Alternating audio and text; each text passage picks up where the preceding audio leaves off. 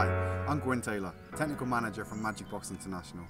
Today we're here in Hereford on the site of our second Channel 4 Grand Designs feature home, finalising the installation of two of our Big Magic thermodynamic boxes.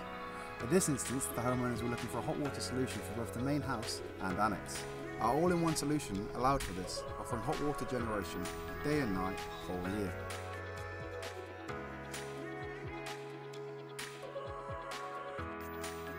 Here, our thermodynamic panel has been installed inside a larder. The idea of this is to remove the heat from within the larder and utilising the energy that we absorb by heating the hot water in the Big Magic thermodynamic box.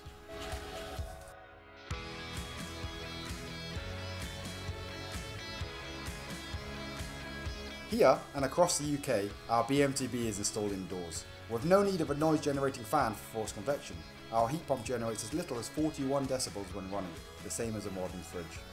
We achieve this through an extensive selection of market leading components coupled with our manufacturing quality and consistency. Our thermodynamic solar assisted heat pump can best be described as a fridge in reverse. Many people understand that the panel at the back of the fridge is a factor in keeping its contents cold.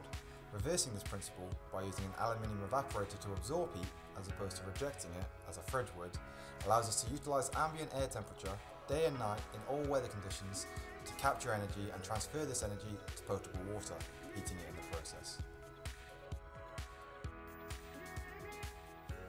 The cylinder that is holding the body of water within the Big Magic thermodynamic box is made of duplex stainless steel and comes with a 25 year warranty.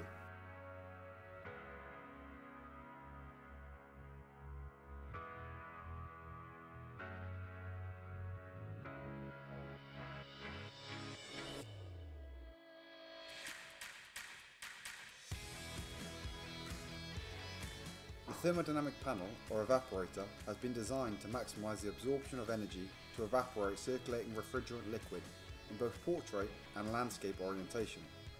Here we have two thermodynamic panels installed in parallel. The panel is lightweight, double inflated, and made of 2mm thick aluminium for strength and prevention of corrosion. Unlike solar panels, thermodynamic panels do not rely on direct sunlight to create their energy. The panel circulates a refrigerant liquid, which is a sub-zero starting temperature.